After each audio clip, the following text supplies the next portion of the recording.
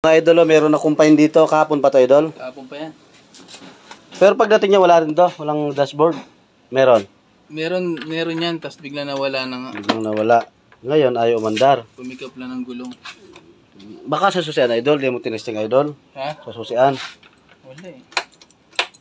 Walang power sa spark plug.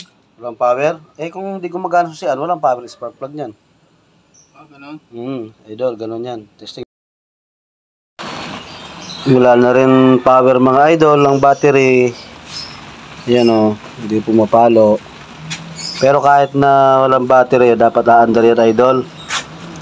Kung hindi sira ang stator at saka rectifier, dapat aandar yan kahit walang battery.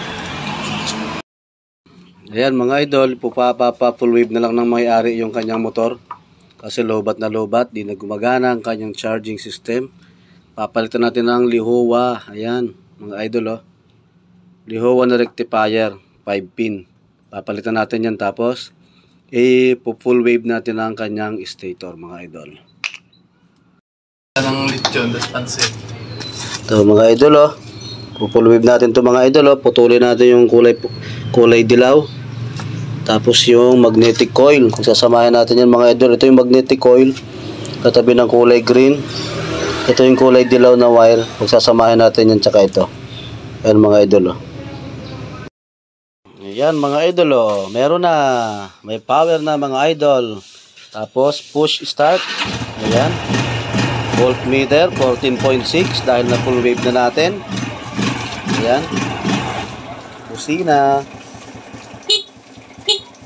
Headlight, switch, ayan, headlight, high, low.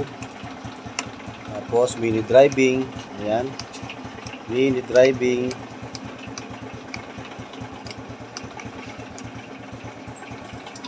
Dali na mga idol.